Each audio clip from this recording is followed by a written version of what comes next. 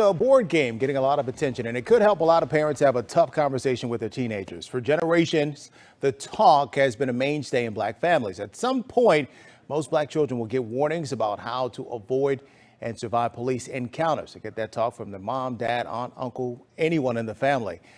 April Preyar is a criminal defense attorney. She created Trials and Triumphs. She's joining me now to talk about what young people can learn from this game and also respond to some of the criticism. Good morning to you. Thanks for joining me. Good morning. How are you? Doing fantastic, fantastic. First, I want to ask you, why did you create this board game for uh, such a serious topic? I created it because it I realized that families were giving out the wrong information mm. and that oftentimes people didn't understand what they should relate to their kids and people in different households were all giving kids the wrong information. So I wanted to have a consistent, uniform set of rules that kids could grasp quickly mm-hmm. because children learn so much faster. I think it's 500 times faster by playing than they do by being lectured to. Uh, some of that misinformation, you say parents uh, make three mistakes when they're talking to their teenagers about police. Can you go through those quickly? Sure. Well, one mistake is just simply giving the talk. And like mm-hmm. I said, mm-hmm. because it's not uniform, you may say something different in your household than they may say at the very next house next door. And that's problematic if those children all meet up and are together on the street or together in a car and they're all doing different things based on the wrong information. Number two is parents treat the police station like it's the principal's office, like you're going to just go and get a slap on the wrist, like you'll just simply get sent to detention. And they say things like, oh, baby, just tell the truth when they don't know what the truth is. They don't know what their kids are up to. Mm. And they may be getting their children in a lot of trouble instead of simply asking for an attorney. And then the third thing is by being reactive instead of proactive. And we see a lot of this on social media. People are lashing out emotionally, but no one is really taking steps to do anything preventative. And that's really the reason why I came up with the game. And I'm sure your decades long experience in law helps you create this game.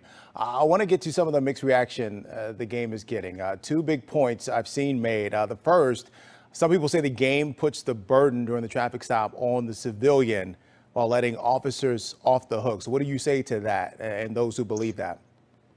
Well, what I say is people put a lot of emphasis on police reform. But let's be honest, regardless of where you stand on the issue, police reform takes time. Mm-hmm. It's not something that's going to happen in the next 30 minutes or the next 30 days. It may take several years. So, in the meantime, how does that help you or your child who gets stopped today? And so, I wanted something that civilians could use. I wanted something where civilians could feel empowered and take their power back during having uh, during a police stop instead of feeling like they were completely out of control, panicked, and paralyzed. Uh, the other point I see a lot of people making too, uh, some are saying creating such a game vilifies police. So, what's your response to that?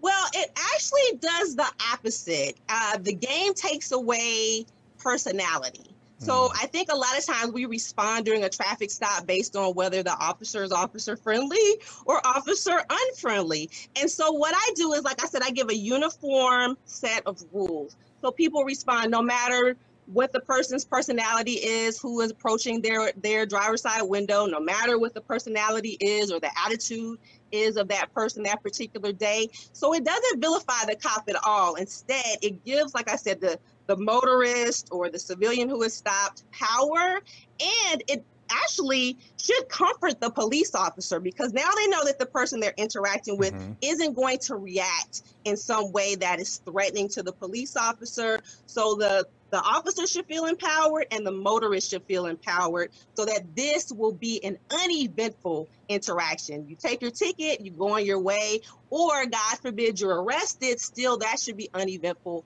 as well. Well, folks, you can find more information about this game. Just go to justusjunkie.store. April Preyar, attorney and creator of Trials and Triumph, thank you so much for your time this morning. Really good to have this conversation with you. Thank you so much for having me on. Have a great day. You have a great rest of your week, too.